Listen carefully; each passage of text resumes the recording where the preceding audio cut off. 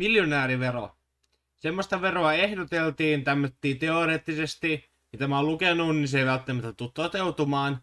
Tässä ei ole semmoista poliittista kantaa tässä mun niin kuin videossa, mutta mä vaan halusin puhua tästä, koska niin kuin miljonäärikäsitys on jotenkin niin pimeä tai silleen niin sanotusti, koska mä oon siis perehtynyt lukuihin niin kuin aika paljon just niin kuin esimerkiksi miljardöörien ja miljonäärien ympärillä, ja niin kuin mitä se tarkoittaa käytännössä just, että vaikka jos joku voittaa lotossa miljoona 200 000 tai jotain tuommoista, mitä se niin kuin tarkoittaa tai tälleen. Mä oon paljon siihen perehtynyt.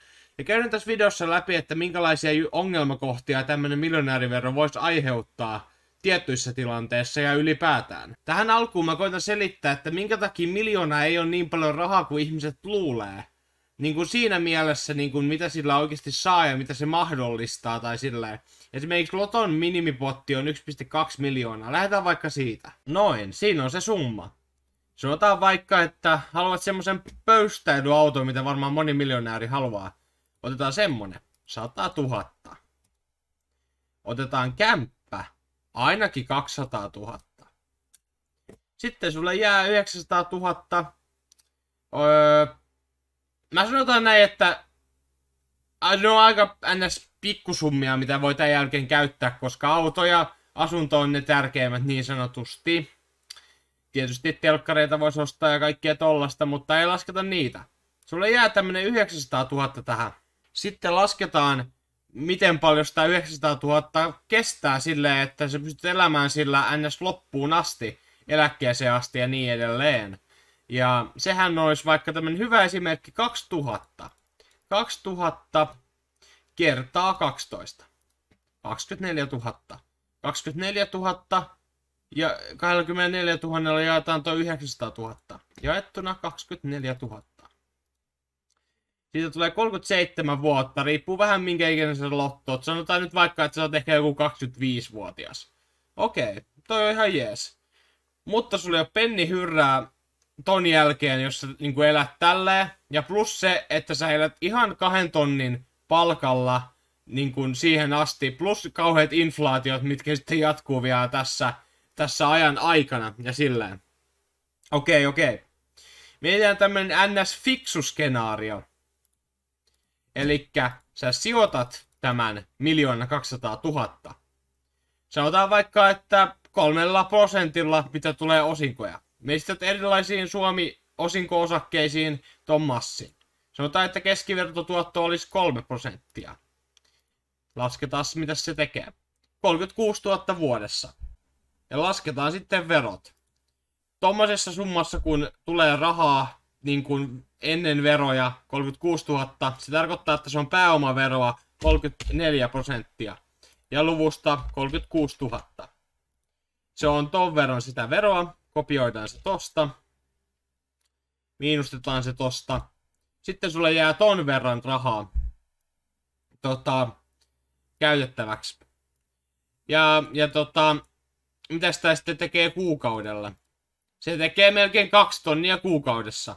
Elikkä, jos sä sijoitat sen loton minimipotin, niin sä pystyt elämään sillä tuommoista hyvin työssä käyvän ihmisen elämää. Mutta, tässähän on se juttu, että sä saat ton verran rahaa, tai ehkä vähän enemmän, tai ihan vähän vähemmän niistä osingoista, mutta sitten sulla ei ole sitä kämppää ja sulla ei ole sitä autoa.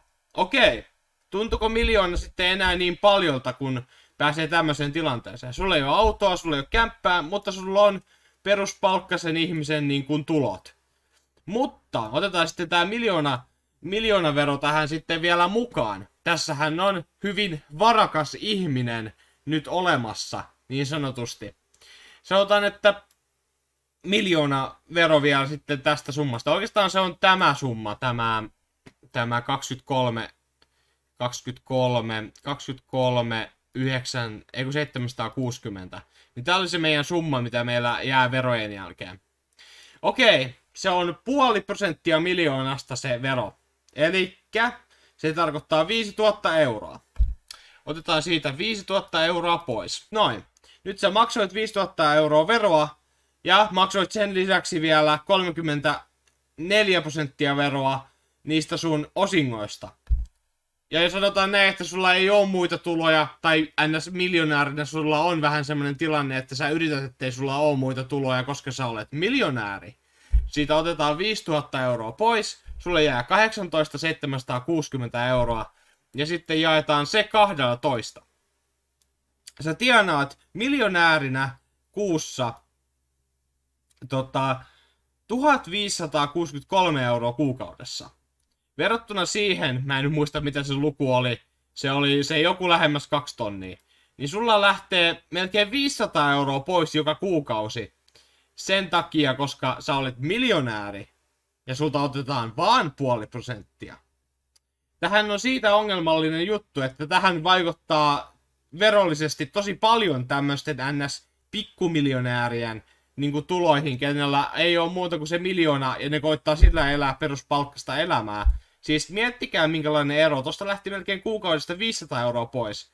Ja siis tämähän on semmoinen summa, että tähän summaan ei saa edes yleistä asumistukea, ainakaan niin kuin noissa pikkukunnissa.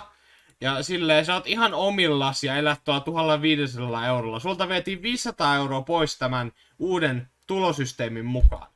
Ja mieti sitten kans sitäkin, että jollakin voi olla, siis Tämä on toki harvinaista tapaus, harvemmin tälleen välttämättä on suoraan. Mutta voi olla siis tapauksia, kenellä on vaikka miljoona euroa metsää. Siis ketkä ymmärtää metsäbisneksestä jotain, niin metsäbisnes ei ole semmoista, että sitä vaan myydään tossa tai se tuottaa tossa vaan koko ajan rahaa. Se on semmoista pitkäaikaista sijoittamista. Sulla on vaikka miljoonalla eurolla metsää, siitä lähtee...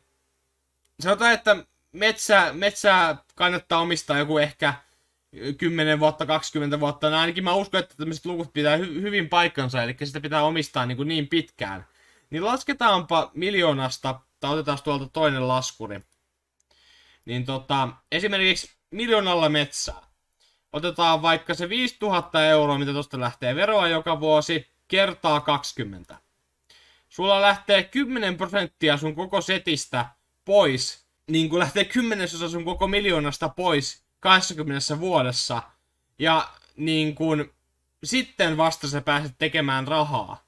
Ja mun mielestä metsässä ei välttämättä edes ole kauhean korkeat ne prosentit, mitä se tekee tuottoa. Toki voin olla väärässä, mutta näette just sen ongelmallisuudenkin tässä. Eli voi olla miljoona edestä omaisuutta, mutta semmoista omaisuutta, mikä ei tuota rahaa.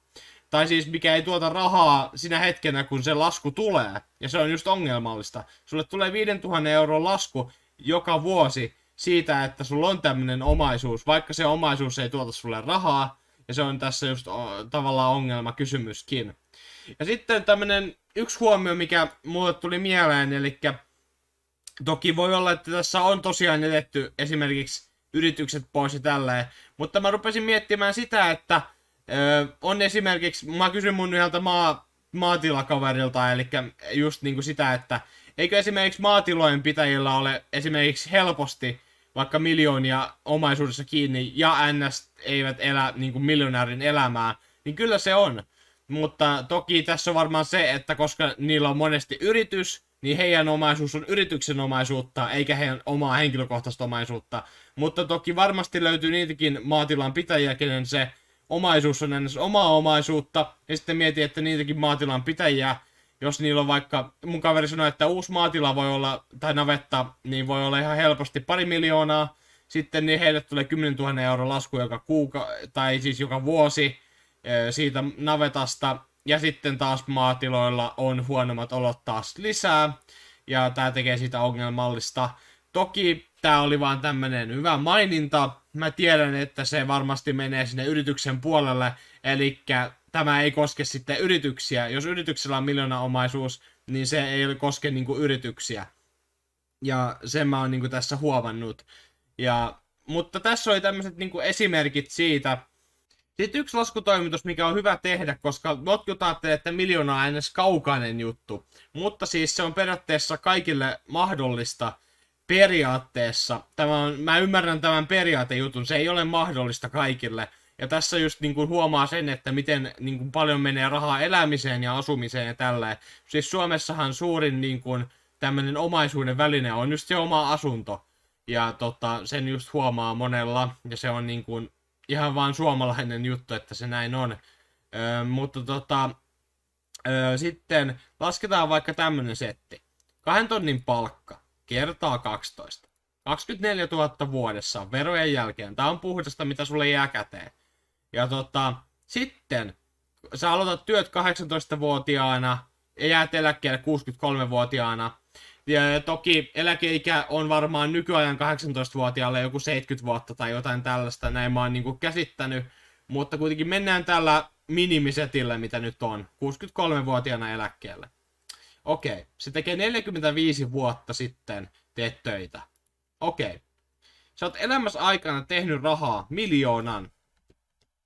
Miljoonan tehnyt rahaa.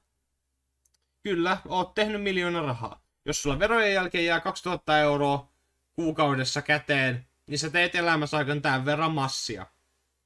Plus siihen, mitä voi teoreettisesti ajatella, että sä sijoitat osan sun rahoista ja sitten sun omaisuus nousee, niin kuin se yleensä nousee. Ja sitten sulla on tässä ehkä vielä enemmän rahaa.